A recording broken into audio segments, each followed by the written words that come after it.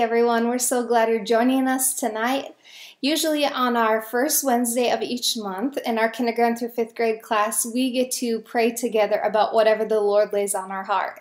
Well, tonight we get the opportunity to pray together with our families. We have a special Bible story planned for you tonight, so take a look. Stories of the Bible Jesus Prays. This is Jesus. Heyo! Who is the Son of God and the Savior of the world. While Jesus was on earth, he taught everyone about God's love and healed people from their sickness. He did many miracles like walking on water. Oh, hey guys. And even raised people from the dead. Uh, wahoo!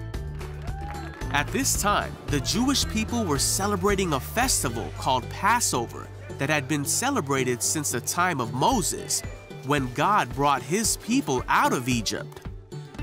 Jesus was going to Jerusalem to celebrate. And Jesus and his disciples were having the Passover meal together. Jesus told them many things of what was to come and the trials they would face. Then Jesus looked up to heaven and prayed for himself, saying, Father, the hour has come. Glorify your Son so he can give glory back to you. I brought glory to you here on earth by completing the work you gave me to do. Now, Father, bring me into the glory we shared before the world began.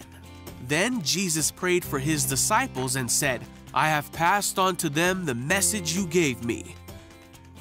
They accepted it and know that I came from you, and they believe you sent me. He prayed for his disciples who would be staying in the world after Jesus went to heaven. He asked God to keep them safe from the evil one and to make them holy. Then Jesus prayed for all the people who would come to believe in God because of the message that the disciples would tell. He prayed for people of all time, even to this day. He prayed that followers of Jesus would be united so that the world would believe that God sent Jesus to die for their sins so that everyone could be with God forever. Prayer is so powerful. It's amazing that whenever we pray, God goes to work on our behalf. It's so exciting to know that our prayers are heard and they're answered all you have to do is to talk to God. You can talk to Him just like you talk to your best friend or your mom or your dad. And then God also speaks to your heart. And it's not a big, loud, audible voice like you hear me talking to you, but it's just a gentle whisper in your heart. And so tonight, what we want you to do is we want you to take time together with your family and take some time to talk to God together and then take some time to listen to what He's saying to you. He might be putting someone on your heart tonight to pray for, like a friend you haven't seen in a long time, or maybe even a teacher that you haven't seen in a while.